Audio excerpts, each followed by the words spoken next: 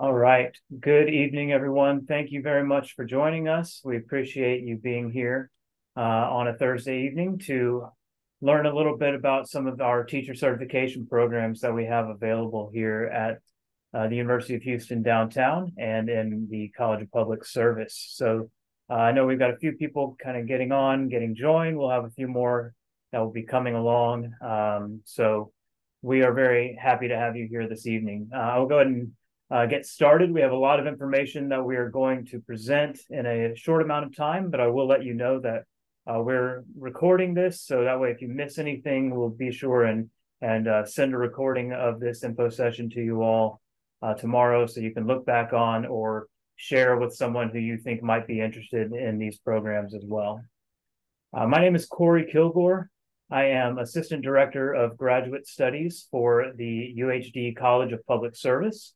Uh, so I'd like to welcome you this evening to learn um, about uh, our teacher certification programs here. We have two programs uh, that we're going to discuss this evening, our alternative certification program and also our Master of Arts in Teaching program, our MAT with teacher certification.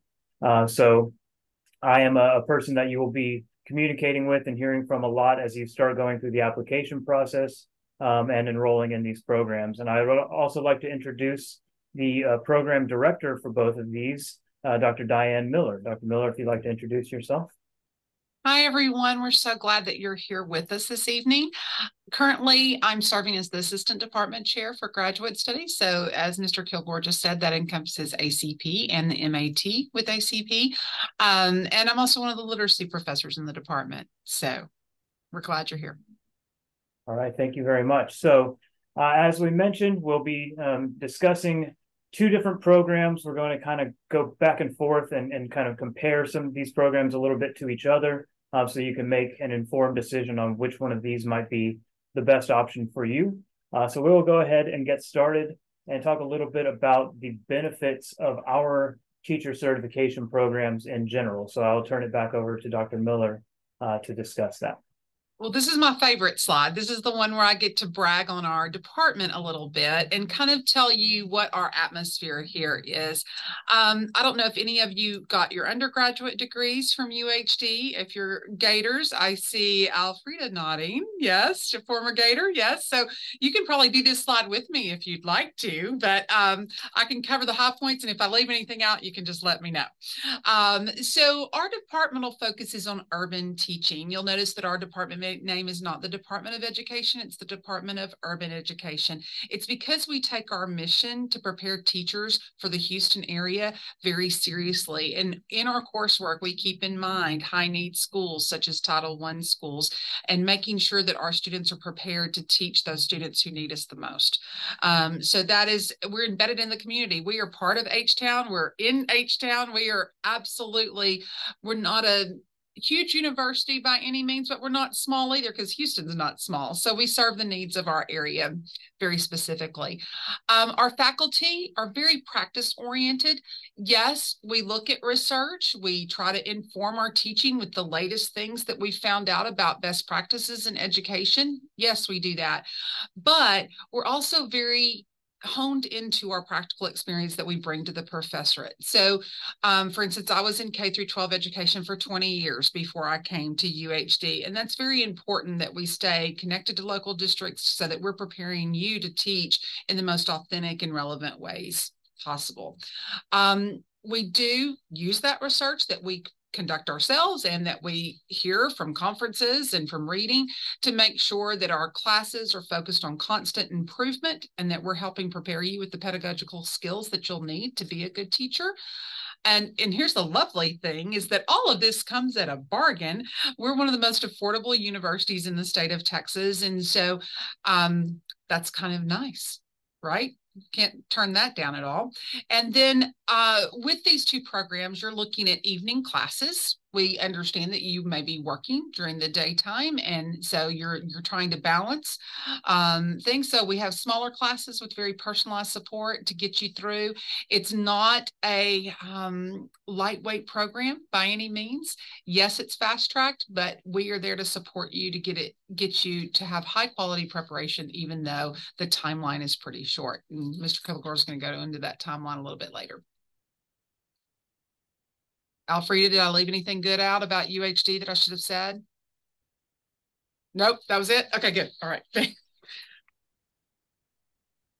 All right, so um, looking at our teacher certification programs and basically what our areas of certification are, you know, so a lot of times people will come to us asking, you know, can I get certified in this particular area? Uh, this is what what you see in front of you is what is available through our programs.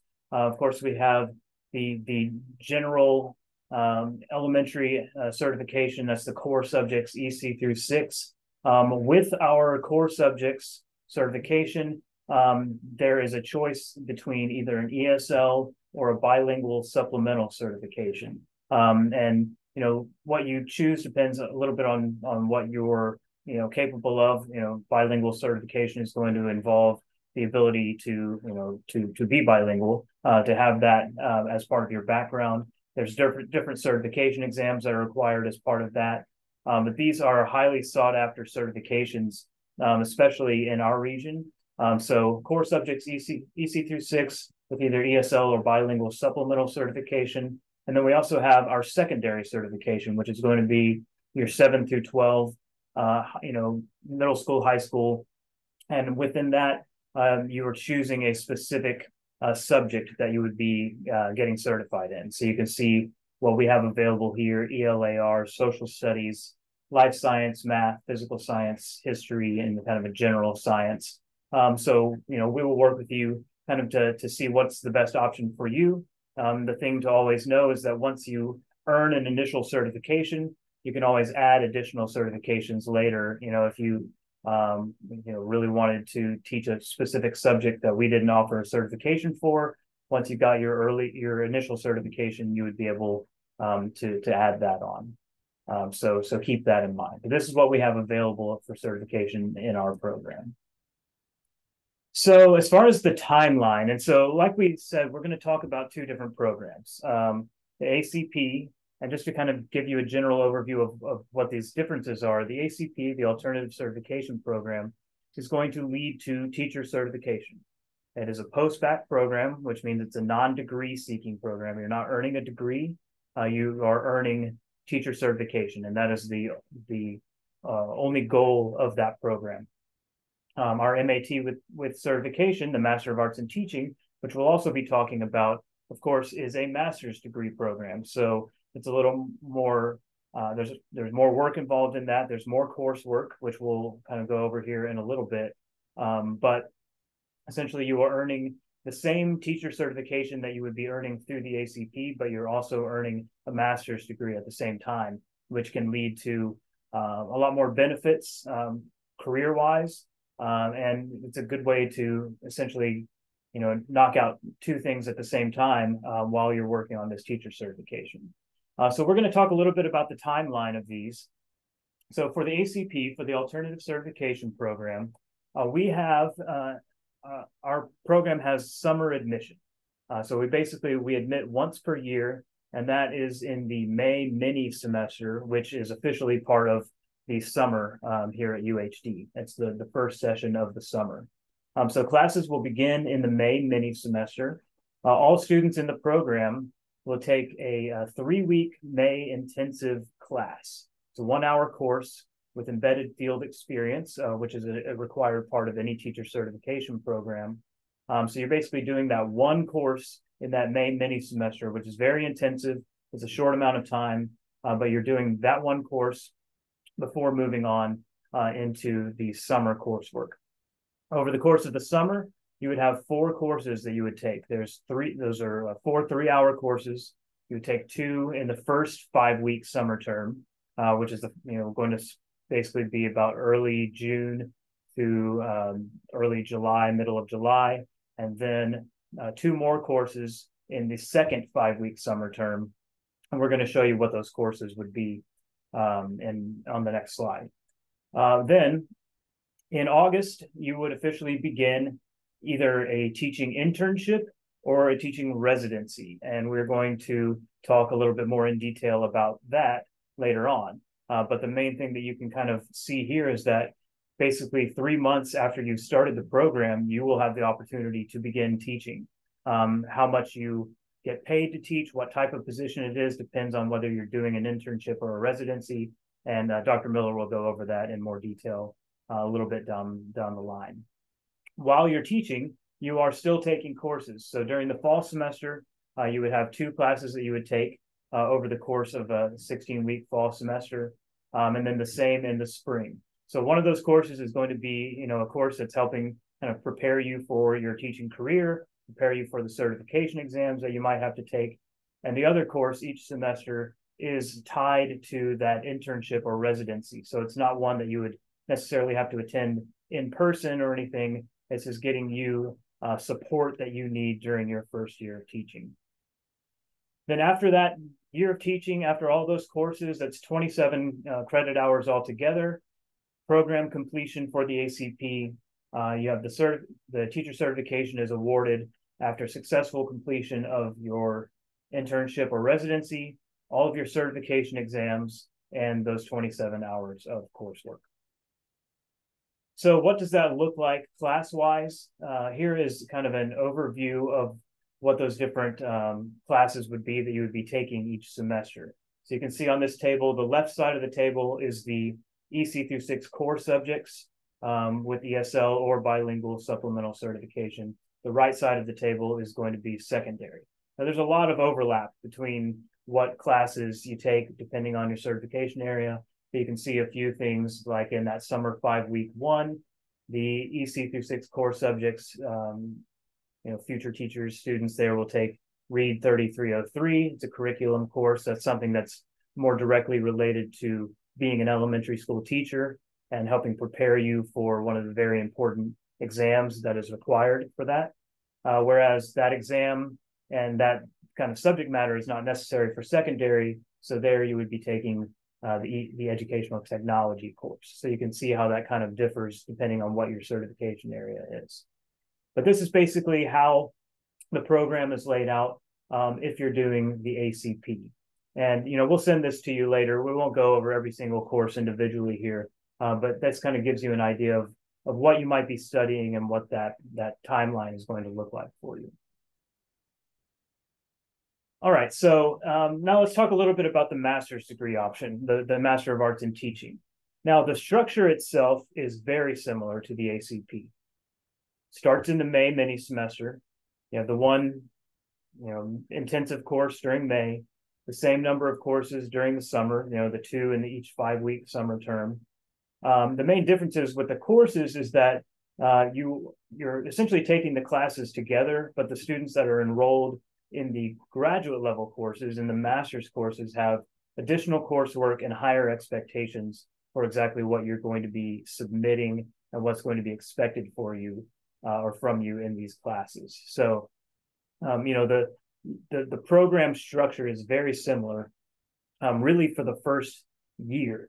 Um, the main difference is being what's expected of you out of that coursework. Where it becomes different is that our master's degree, our MAT degree requires 36 credit hours. So the ACP is 27 credit hours, which means that those students that are completing that master's degree will need to complete an additional nine hours, additional three courses. Um, and that happens in the second summer. Um, so after you finish that first year of teaching, you finish those other 27 credit hours, those students doing the master's will then continue on into an additional nine hours that, that are completed over that summer and then program completion and certification uh, will be awarded after you've completed the full MAT degree, you've finished the internship or residency, all of your exams, and all of those 36 hours of coursework. So here's a little bit of what that looks like uh, for the master's program. So you can see the the actual courses are different. Uh, what the you know the course numbers, some of the titles are a little different, um, but the subject matter is the same um, what you know what you'll see here is basically that that students that are enrolled in these courses are um, taking, you know, have additional coursework, additional things that are expected of you. The titles are different uh, because you're earning a master's degree, which means you need to be taking 5,000 level or 6,000 level graduate courses. Um, and then you can see the summer five week one and summer five week two at the bottom. Those are the additional three three courses that are required to earn that master's degree. Now, it's important to, to point out that this is something that you do have to choose from the very beginning. Um, it's not a situation where you can originally roll in the ACP and then once you get to the end of it, decide, oh, I, I want to go ahead and do those last nine hours. That's not an option. You have to be enrolled in whichever option you choose from the very beginning. Um, mainly because if you look at the courses, the courses that you're taking are different. If you took a bunch of undergraduate level courses, those couldn't be applied to completion of a master's degree. Um, so that's that's an important thing to keep in mind. All right, I think I'm turning it back over to Dr. Miller now. Yes, I am to talk about the differences between this internship and residency that we've been talking about. So, Dr. Miller. Okay, so the timeline that Mr. Kilgore just discussed with you doesn't change with these two options. You'll be doing field work for two long semesters in a row, no matter what. Okay, that's that. So it's the same semesters, all of that jazz. Okay. But there are two different options that we are offering to you, and you need to think carefully about which one you would want to do. The decision has to be made very early in the program. The first is what we've offered traditionally through the ACP, and that is the internship option. The internship option is um, earned when you have all of your content area tests passed before the school year starts which means you've got a pretty intense summer, May mini plus the four summer classes, plus however many tests go with your certification area before August when you start a school district job. Okay. So that's the thing. The state of Texas will let us offer an internship certificate to you if you pass all of your content tests. Now I'm going to look at, I'm going to show you the list of tests in just a second. There's one test that they let you take after you started your internship. Okay. So but what that does for you is that you're able to seek a district job with our recommendation, and you'll be hired as a teacher of record for that full academic year. That translates whole salary, all benefits. You're employed by the school district under an internship certificate. You're in a classroom by yourself. You have a clinical coach coming to see you two to three lessons per semester to give you feedback on your teaching. That's the internship. Okay. So, in a nutshell, you take a lot of tests in the summer. Well, not a lot, some depends on what your certification area is. Bust your tail, and then you start in August with a teaching job. And you're paid as a teacher, and you've got a clinical coach coming to see you periodically. Okay. Hopefully, that district and most of the districts in this area do have a mentor program for first year teachers, and you'll be supported in that way. But our support is coming through that clinical coach coming to see you teach. Okay. The other option is a residency. And that is the option that we use with all of our undergraduates, unless they're employed as paraprofessionals in the school districts. Um, and no certificate is required for this. We are placing you, and it's kind of a co placement with the district. No testing requirement because there's no certification involved there. You're not given a one year internship certificate. You're there as a student teacher for lack of a better word, but we use the word resident. Okay. We have a Gators to Teachers program that will help you with your placement. There are specific districts with whom we have agreements to do the residency placements because the districts are paying their residents, some residents, twenty to twenty-five thousand dollars for the year to do the residency. Uh, one diff- difference I didn't put on here with the internship, you're working as a full time teacher all year long. That's Monday through Friday, you know, dawn till dusk, whatever that ends up being, right? Um, with the residency, it's a phase in. You would be doing about two days in the classroom a week for the first part of the semester of that first semester, say the fall semester, and then you gradually increase to three days a week. After the holidays, you come back in January, you're in there for five days a week. So it increases two days to three days to five days a week across the year as it goes. Okay. That's why you're looking a little less money, right? But you're here's what you get. You get the opportunity to take your test over a longer period of time and you have incredible amounts of coaching and support for your first year in the classroom. You've got your mentor teacher. You're not in a classroom by yourself. You're co-teaching with a skilled teacher. Um, you have a site coordinator. You'll have somebody who's representing the university and who is on campus very regularly to check on you to see how things are going, to help you facilitate any requests or situations or discussions or just advice that you need. You'll also have the clinical coach coming to see you for not just observations, but walkthroughs, and we'll have um, conferences with you before and after you teach the lesson and giving you a lot of reflection and feedback time. So those are the two options. You need to start considering which one you want to do and you have to give us that decision pretty quickly in. And I'm happy to talk more details about that if you have questions later. All right, great. Um, so let's talk a little bit about the admission process here um, and what the differences are between the, the two different programs. So I'll try to go through this um, somewhat quickly. The application um, is officially opening soon. Uh, the, the application for the ACP uh, for this next summer is going to open um, next Monday on November 6th. So you can actually start this process pretty early on. Um, but basically, as we mentioned, the you know we have summer admission only for that May mini semester. The 2024 application deadline is going to be April 12th.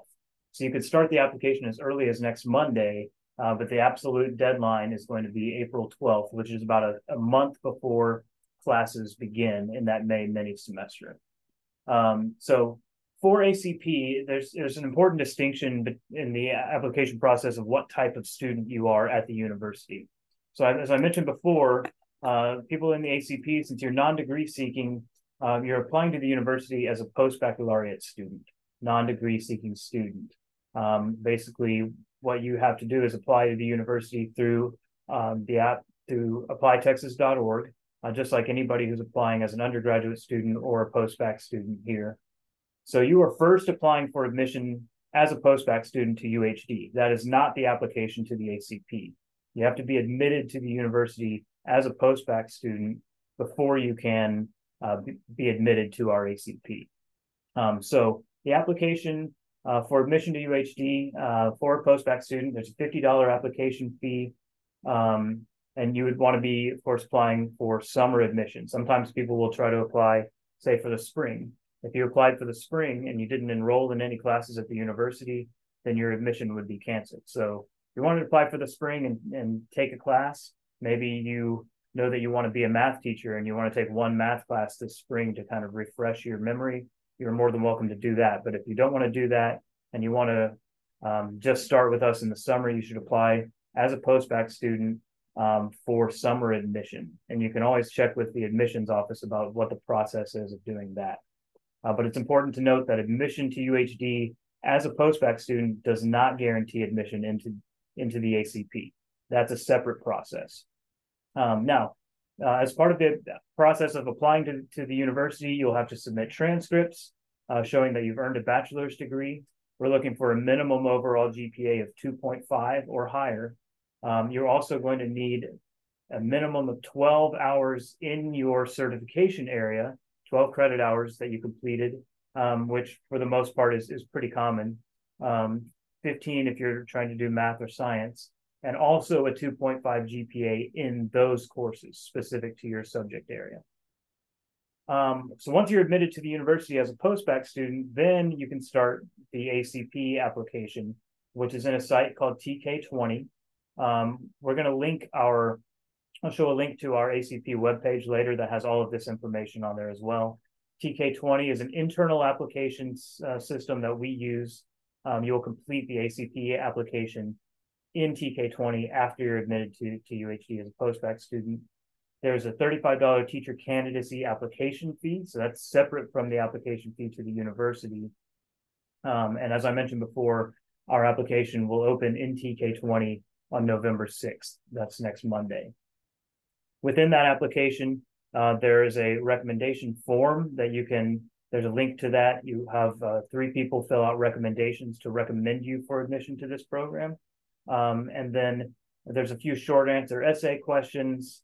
And then once you have completed that application and submitted it, we'll review it and we will schedule you for a teacher candidacy interview um, if if your application receives that initial approval to move forward. Um, so, like I said, that's a lot of information. I'll share this with you uh, later, and all of this is on our website. Um, so, so don't worry if you didn't, you know, get that all right then. Now, uh, for the MAT, if you're applying to that, it's a completely different process. um, even though the program is pretty much ex uh, exactly the same, the process is different because you're applying for admission into a master's program. Um, application deadline is the same, um, but the application uh, since you're applying for a master's program, you're not applying as a post-bac student, you're applying as a master's degree student to the Master of Arts in Teaching. Um, so you wouldn't apply through Apply Texas. Uh, there's a new application system that we have for graduate programs. Uh, that QR code there uh, will take you to the page where you can create that application. Um, so when I share this with you, I'll send this to you by email tomorrow. You'll have access to that. Um, the GPA requirements are the same, uh, but when you're filling out the original application to the master's program, you uh, will uh, request three recommendation letters. That's through the application. You'll enter a, a, name and email address of the people you want to do those recommendations, um, and they will complete that and submit that. So there's no sending back and forth of letters and things like that. Um, and then there's also a requirement for a personal statement of 700 words or more and how you believe your educational and professional background will lead to your success in this program. So there's a little more writing involved in the application for this program um, because that's typically what's involved in master's degree classes.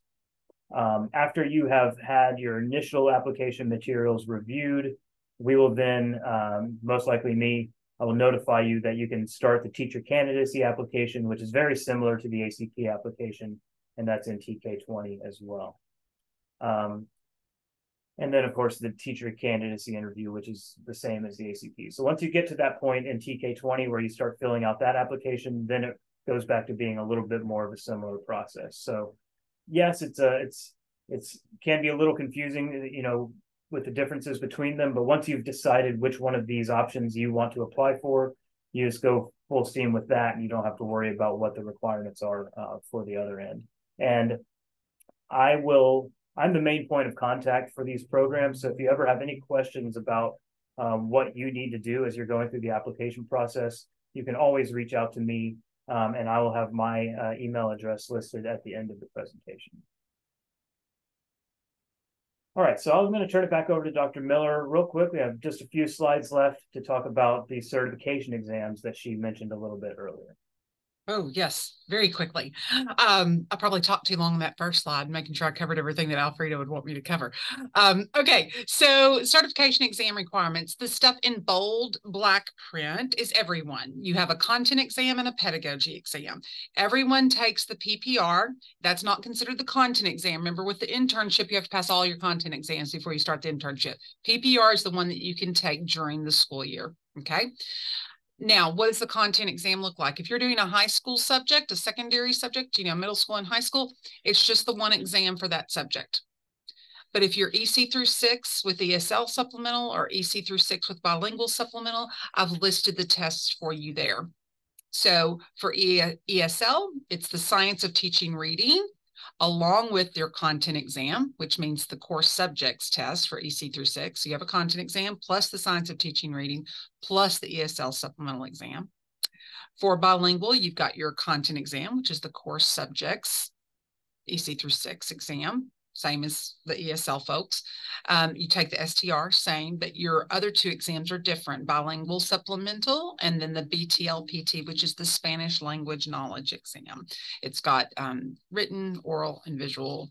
All that's kind of wrapped up in multiple choice. It's all in there with the BTLPT.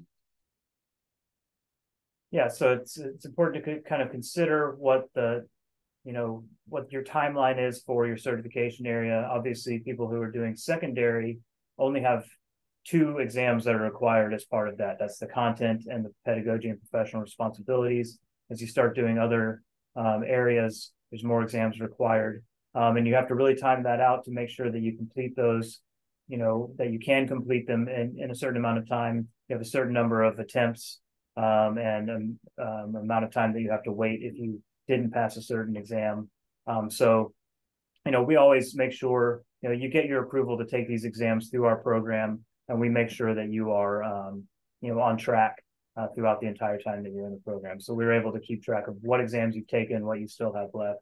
And we have a great certification coordinator, uh, Ms. Ackroyd, uh, who will always be in touch with you to make sure that you are uh, on track with your exams. Um, all right, and then uh, tuition and fees. So, Dr. Miller, I think this is you as well, right? All right. So, undergraduate tuition is very different from graduate level tuition. So, you can see that difference in amounts right there. Okay. Um, because you're getting a master's degree. It's a special thing, right? Um, so your total tuition and fees, if you're seeking to go the alternative certification route, which is, as Mr. Kilgore said, a post-baccalaureate non-degree seeking option, um, you're looking at around 9,600 bucks. Okay. Uh, if you go over to uh, the master's, you're looking at 18.9. And so I bet your big question is, why do I pay double? why do I want to do more? Well, you've got nine extra hours of coursework that you're paying for at the more expensive graduate rate. Um, you are getting a degree out of it. So there are certain types and, and pathways to financial aid that would be open to you that wouldn't be open just for you taking an ACP program. Okay. Um, your ACP program is dependent upon how much financial aid you received in your undergraduate career already. There's like a pot of money. And once you're done with that, you're done with that. Whereas when you go for a graduate degree, it opens up a new direction for you for applying for financial aid and scholarships and that sort of thing. Okay. Uh, with both of them, you have the certification test, and they run anywhere from 116 to $134 each. The STR is the one that is $134. So if you're secondary, that won't be a concern. Both yours will be 116. Um, but if you are doing EC through six, you'll have that slightly more expensive test of 134 that's all we have for you today, but we're here for questions and answers. I know Mr. Kilgore is recording this. Oh, he's got one more. Sorry. I was oh, yeah. us too early. I forgot about this. good so, one. Uh, I will mention that uh, we partner with an organization called Teach for Houston um, that you can go to. It's free to sign up for an account with them, but if you know you're going to apply uh, for one of these programs, you can sign up for an account with them. They will help you uh, make sure, uh, you know, as you're going through the application process to make sure that you are getting everything submitted on time, getting everything complete. They do have uh, fee reimbursements, application fee reimbursements, and also uh, scholarship opportunities. So it's free to sign up for an account with them. We partner with them. They send, uh, you know, potential teachers to us and vice versa. Um, so if you're interested in signing up for an account with them, uh, that information is there. Um, so, you know, keep that in mind. And now we will uh, turn it over for questions. You can see our contact information, the links to our web pages. Um, so are there any questions for us?